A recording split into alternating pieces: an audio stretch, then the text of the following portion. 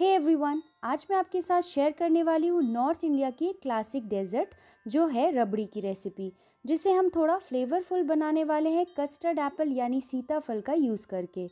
और यकीन मानिए, ये बहुत ही टेस्टी बनती है। गुणों से भरपूर सीताफल से बनने वाली रबड़ी का स्वाद बहुत ही अलग सा होता है।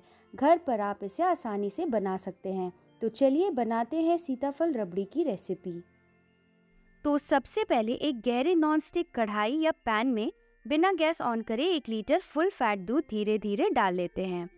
रबड़ी बनाने के लिए फुल फैट दूध का इस्तेमाल करना ज़्यादा अच्छा होता है, पर आप स्किम्ड मिल्क से भी रबड़ी बना सकते हैं।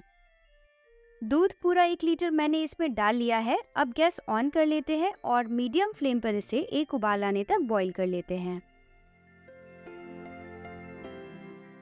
दूध में एक उबाल आ गया है तो अब फ्लेम को लो टू मीडियम पर कर लेंगे। दूध को हमें बीच बीच में लगातार चलाते हुए गाढ़ा यानी थोड़ा थिक कर लेना है। इसे लगभग 25 से 30 मिनट हमें इसी तरह ओकेजनली चलाते हुए पकाना है। और जब भी दूध को चलाएँ इसके साइड से जमे हुए दूध को भी खुरचते हुए हमें दूध में मिलाते जाना है। हमें दूध को तब तक पकाना है जब तक कि इसकी जो क्वांटिटी है वो एक चौथाई मात्र न रह जाए।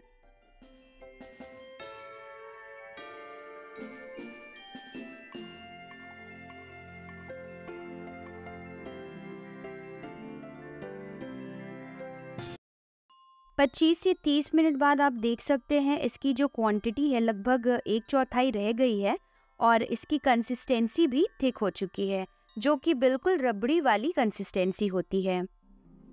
अब फ्लेम को लो कर ले और डाले एक चौथाई टीस्पून हरी इलायची का पाउडर और इसे अच्छे से मिला ले। एक चौथाई टीस्पून के लिए मैंने तीन से चार इलायची का यूज़ किया है। इसमें मैंने बहुत कम इलायची का यूज़ किया है ताकि सीताफल का जो फ्लेवर है वो स्ट्रॉन्ग सा आए और इलायची का थोड़ा कम। इलायची पाउडर दूध के साथ अच्छे से मिल चुकी है। अब इसमें डालेंगे तीन टेबलस्पून के करीब चीनी। चीनी आप अपने स्वाद के अनुसार कम या ज़्यादा डाल सकते हैं। सीताफल बहुत ही मीठी होती है, इसलिए चीनी पहले कम ही डालें और फिर सीताफल का पल्प डालने के बाद अगर आपको चीनी कम लगे तो मीठा एडजस्ट कर ले। लो फ्लेम पर पाँच से दस मिनट तक और इसे हमें पकाना है और लगातार चलाते भी रहना है ताकि ये कढ़ाई के तले पर चिपके नहीं और जले भी नहीं। पाँच से दस मिनट हो गए हैं और चीनी भी अच्छे से घुल चुकी है। अब फ्लेम बंद कर लेते हैं। रबड़ी को पूरा ठंडा कर लेना है। इसे पूरा ठंडा या रूम टेम्परेचर पर आने में लगभग एक घंटे का समय लग सकता है।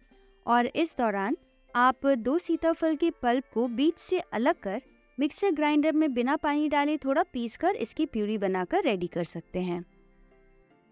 एक घंटा हो गया है और रबड़ी जो है वो पूरी तरह ठंडी भी हो चुकी है। तो अब ठंडी रबड़ी में ही एक कप सीताफल की प्यूरी को ऐड कर लेंगे। इसे अच्छे से मिला ले। एक कप सीताफल की प्यूरी बनाने के लिए मैंने दो सीताफल का यूज़ किया है। ध्यान रहे कि जब रबड़ी पूरी तरह से ठंडी हो जाए, तभी सीताफल को इसमें मिलाना है। गरम रबड़ी में सीताफल ऐड करेंगे तो रबड़ी फट जाएगी।